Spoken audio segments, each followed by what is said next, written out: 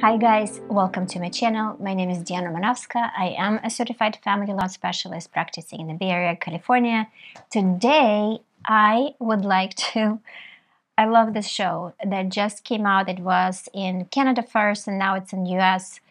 Uh, the first two seasons came out and uh, the next one is gonna well, the episode is coming coming out as well.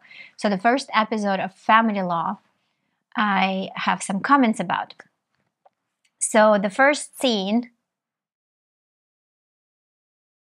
Custody. End the story.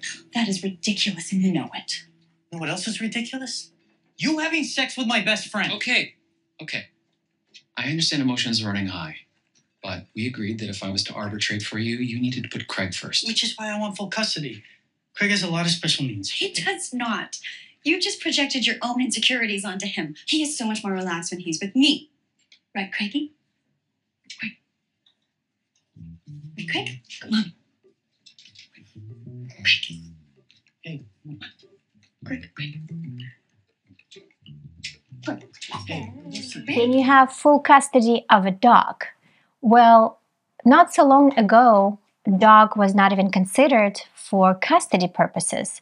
Dog is property as we would consider community property separate property during the divorce process. When it was purchased before marriage and separate property during the marriage community property. But can we ask for custody of a dog? Now yes. I actually have a video. Um, i will link it up uh, above about custody. So uh, yeah I had a case where we had to go through mediation when dog was in dispute who is going to take care and it was as if it was a child. We had a mediator, court appointed mediator, we had a court hearing and the judge would look at this issue as if it is considering a child. So we look at what's in the best interest of the dog uh, what is the best timeshare, what is the best parenting plan, who is going to take dog uh, to the veterinarian, who is doing what, and same thing. So it's um, it's pretty amazing how law has changed, and uh, the series uh, reflected this change pretty well.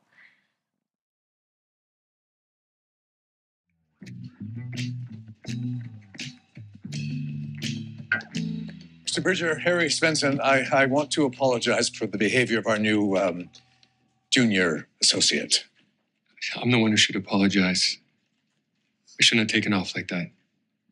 The news was overwhelming. I didn't think children were in the cars, so to find out I have a daughter.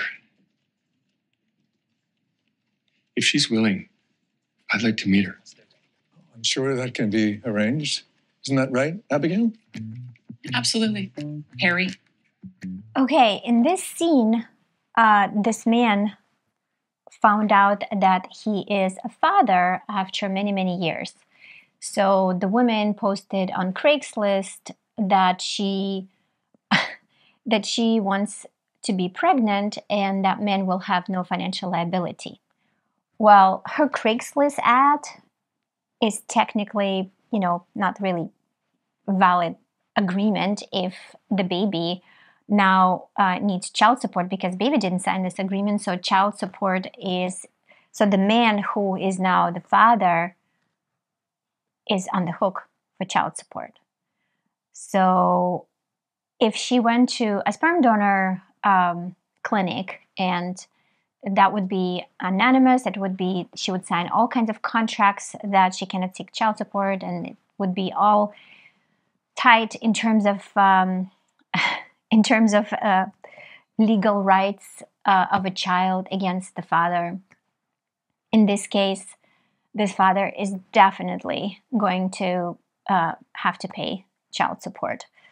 So when he had uh, responded to this ad, he should have probably consulted a lawyer before having an intercourse with her. Yes, it's a it's an it's an interesting issue. Um, so do not respond to ads on Craigslist and in pregnant women if you don't want to pay child support.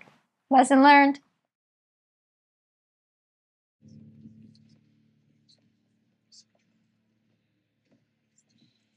Morning. Hi. This was your plan all along, wasn't it?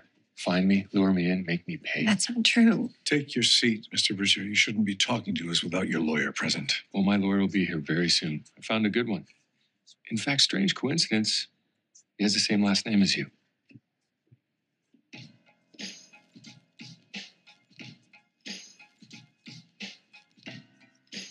Is this going to be a problem? Do you know him? You could say that. He's my husband. Doing here? What are you doing here? Bridger hired me. You gotta get back at me. Abigail, sit down. Holy moly. So, think about this. Wife already has a client, and surprise, surprise, her husband comes into courthouse to the hearing as opposing counsel. Is it even possible? Yes, but it's against ethics. It's against Rule 1.7, California Rule of Ethical Conduct. And this Rule 1.7, listen to this, approved by Supreme Court effective November 1st, 2018, states even when a significant risk requiring a lawyer to comply with paragraph B is not present, a attorney will be required to provide written disclosure. So he was supposed to provide his client when he saw the firm, he saw who his associate was his wife, written disclosure to his client, and that so the lawyer has or knows that another lawyer in the lawyer's firm has legal business, financial, professional, personal relationship with responsibility to a party or witness in the same matter, or two, the lawyer knows or reasonably should have known that another lawyer is a spouse, parent, child, sibling, or lawyer. Of course, we don't know in this movie if he did that. Perhaps he did, and the client said, You're the best, I'm signing everything, I don't care that the other lawyer on the other side is your wife. But technically, if it didn't happen, then her husband would have violated rules of ethics and it could be discipline, he could be disbarred, he could lose his license, so no go.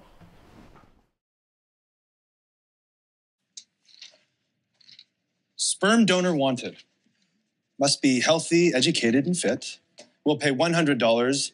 Donor will have no financial or parental obligations. Madam Justice, my colleague and his client are simply trying to cash in on my client's newfound wealth. Counsel rests. Mark Bridger, when did you become a father? Two weeks ago? No, you became a father the moment Rosie was born. Objection. He had no idea he was a father. Overruled. When you and Miss Kirkovich had sexual intercourse, you knew she wanted to get pregnant. The ad said no financial obligations. It also said no parental obligations. Yet here you are, spending all this time with your daughter. And Jeanette isn't stopping you. In fact, she understands it's a good thing for her daughter to have a relationship with her father. And I'm grateful for that. And yet your gratitude doesn't extend to your pocketbook. Don't you think Jeanette deserves something for raising your child after all these years? You think you can just waltz in now and have everything be on your terms? Objection, Your Honor. My colleague is reducing this very complex issue to nothing more than money. Mr. Bianchi, of course it's about money. It's a child support application. Proceed. There is a huge financial disparity between the mother and the father in this case. And even if we set that aside, being a parent comes with responsibilities. Mr. Bridger, I know you want a place in your daughter's life, and I commend you for that. I was estranged from my father for over 30 years. He was a lousy parent, an emotionally stunted and unavailable human being. Objection. But he still managed to send my mom a check every month. My colleague is bringing her own emotional baggage into this. Sustained. Really, Ms. Bianchi? Stick to the facts. Fine, the facts. Mark Bridger became a dad 13 years ago, so therefore he owes my client 13 years of child support. Please, you can only go back three years from the date the support was requested. This is a well known principle of family law, which my colleague would be aware of if she were, in fact, a family lawyer. I think we can all agree that these are completely unique circumstances, Your Honor. Based on Mark Bridger's financial records and the child support guidelines, he would owe approximately $3,200 per month for a total of $499,200. Okay, so can someone go for child support retroactive to the date of birth? It seems very excessive. So, to my knowledge, and I haven't done much research on other cases of appeal, but in 12 years of my experience, the court can go to the date of the petition for divorce was filed. That's as far back as possible. So, if someone doesn't ask for child support, that means they don't want the money. But in this case, it's a very, very specific case where she didn't know who the father was. So the court has to balance all pro and cons, whether his financial, him paying it, um, or the child's need after the fact. I mean, the child is already doing well. Usually, when someone needs child support, they go to child support services and they say, This is what I need. And the child support goes back either to the date of filing for child support or to the date of filing the petition. But going back so far, um, I haven't seen that happen in my career. So, if you want me to do a research on this topic, I will. But I thought it was a very interesting issue that I never heard before. I've had time to review everything, and I've reached my decision. Permission to address the court? Proceed. Our clients have reached a compromise. We've agreed on the terms of a consent order, subject to your approval. Mr. Bridger has agreed to pay $50,000 in retroactive child support payable on terms, as well as pay child support from now on. And Ms. Gierkovich has agreed to a parenting plan so that my client and his daughter can continue to foster their relationship. We'll attach it to the consent order. Both parties are happy with this arrangement? Well, it sounds like a reasonable compromise. I'll make the order. Adjourned. So they reached an agreement outside of court in order to preserve the relationship between fa- daughter and father. And so this lawyer, she settled, she helped to settle this case instead of $499,000 to down to $50,000. The court could, given the series and that she found this case, that the court has the authority to give child support retroactive to the date of birth, the court could have said no to this agreement because it would be not in the best interest of a child. But it seems in this case the court didn't want to challenge this agreement for the reasons why they reached it to preserve this relationship between a daughter and father, and it seems to meet her needs.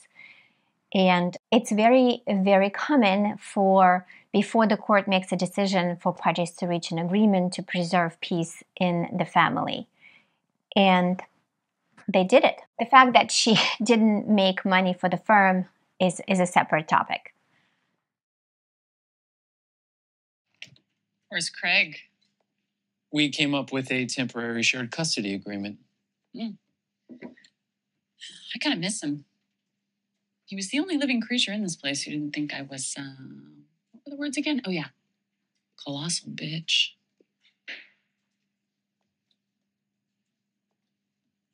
You could have made this firm well over a $100,000. Instead, you made us the equivalent of a tuna sandwich.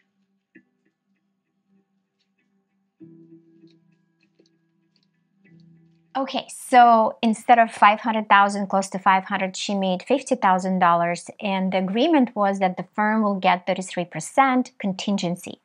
Can the firm get contingency on a child support? So, aside from ethical issues to take from child support, contingency is possible in family law only after divorce is final. So, meaning either the status of marital termination, the marital status has been terminated, or the divorce is completely final. Because the public policy doesn't want lawyers to be interested and have a stake in people getting divorced. So imagine if I had an agreement, so the more money you get, the more I get, and then they try to reconcile. I was like, how dare you reconcile? I'm losing my money as a lawyer. So that doesn't work. Um, same thing in criminal court. So because lawyers are supposed to be conjured to the court and to the, I mean, just ethically appropriate. So hourly rate is or flat fee rate is the only way to go for family law up until divorce is final. So that's uh, that's why she she didn't do so well for the company, but for the for the firm, but helped the child father relationship. So I love this. If you want me to do more of the series uh, commenting on, um, let me know. Like if you liked it, subscribe, and I will see you soon. Bye.